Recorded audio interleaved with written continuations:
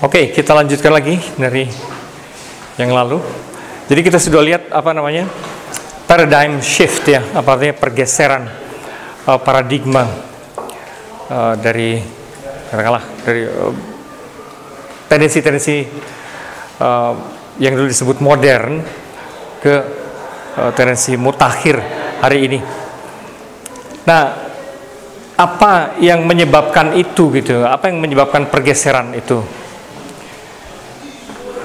Ada beberapa hal.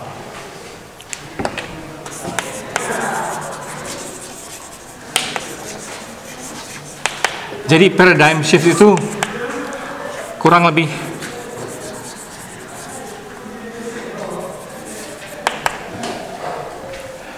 Jadi pergeseran paradigma yang tempoh hari sudah kita lihat itu disebabkan oleh beberapa hal.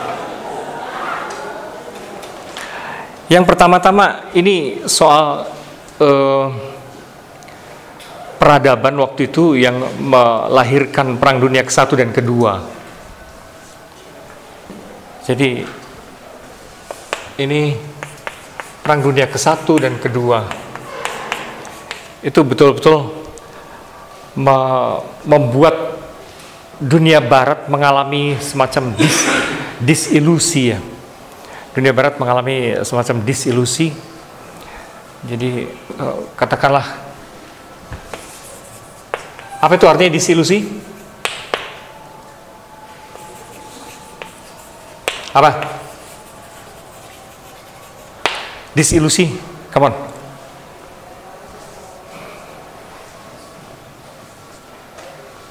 disilusi God damn it itu istilah yang biasa apa dong? Apa? Hilangnya ilusi rusaknya ilusi disilusi. Gampang tuh.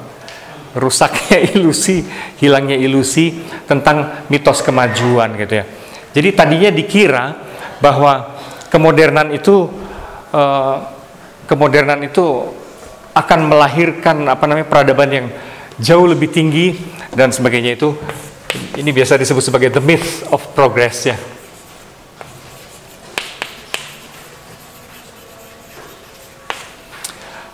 Uh, ada ada semacam mitos uh, kemajuan yang diyakini oleh para ilmuwan, budayawan dan sebagainya di di uh, era modern setelah Aufklärung ya abad ke-18 sampai 19-an eh, gitu ya bahwa seluruh kebudayaan itu akan menjadi maju manusia menjadi beradab dan sebagainya.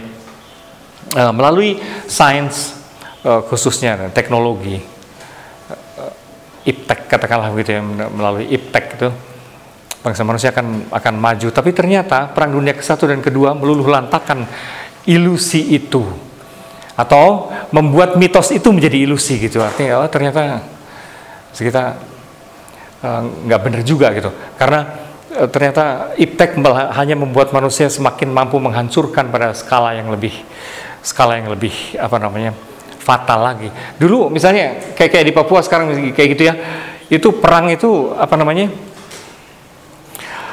uh, orang memang berperang. Dalam masyarakat perang modern orang berperang tapi perang itu antar uh, suku dan skalanya kecil bagaimanapun gitu kan ya. Skalanya itu kecil. Nah kalau kalau uh, sekarang skalanya besar sekali. Sekarangnya waktu itu gitu, bom atom itu meluluhlantahkan uh, Hiroshima dan Nagasaki, tapi juga perang, dua perang itu meluluhlantahkan seluruh Eropa sebenarnya gitu ya.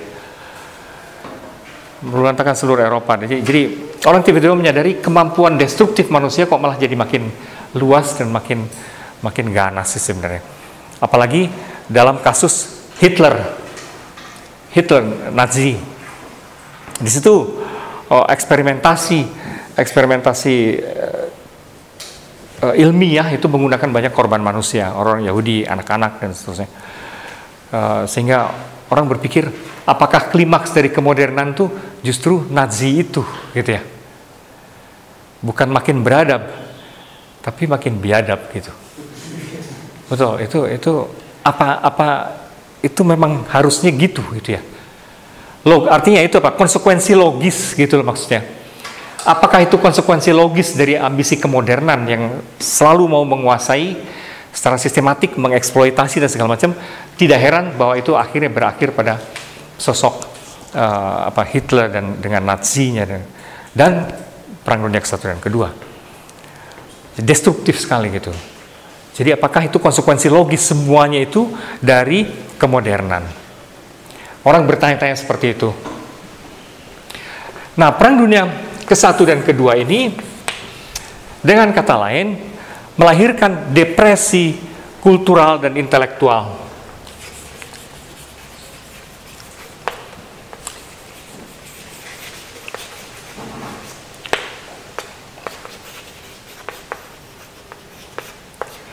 Jadi melahirkan depresi intelektual dan kultural waktu itu. Ada semacam ketidakpercayaan pada pada kultur modern ya pada segala hal yang sok canggih sok intelektual kayak gitu ada. Uh, apa ya? Pada peradaban maka muncul juga di bidang misalnya satu contoh di, di bidang uh, kesenian di bidang seni uh, seni rupa khususnya. Kalau masih ingat uh, muncul gerakan seni yang anti seni alias apa namanya istilahnya? Uh, tonton belasan gitu sampai 20-an gerakan apa masa apa Uh, kamu sudah belajar estetika pada berterbangan semua. Apa itu gerakan yang anti seni yang orang yang cuma naruh pispot segala macam tuh? What? Iya, dada. Marcel Duchamp itu kan uh, dadaisme. Masih ingat? Kok terbang semua sih? Brengsek juga loh. Uh.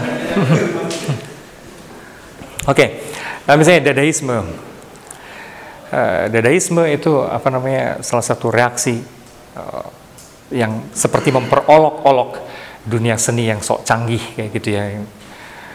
Jadi Marcel Duchamp uh, ininya dia bikin pameran ternyata yang dipamerkan cuma tempat pipis gitu kan ya tempat pipis, uh, pelek sepeda, ada segala macam skop, kayak gitu-gitulah ya. Yang mengejek, memparodikan uh, sofistikasi seni. Dan itu itu uh, dadaisme apa namanya berdampak sangat uh, sangat kuat untuk tipe-tipe kesenian berikutnya yang lahir di pasca abad kedua uh, abad perang dunia pasca perang dunia ke-1 dan kedua. Jadi itu um, ada situasi seperti itu, tapi itu secara umum. Secara umum ada depresi intelektual kultural, ketidakpercayaan, terutama ini melahirkan ketidakpercayaan pada spekulasi spekulasi metafisik. Skeptisisme terhadap uh, spekulasi metafisik.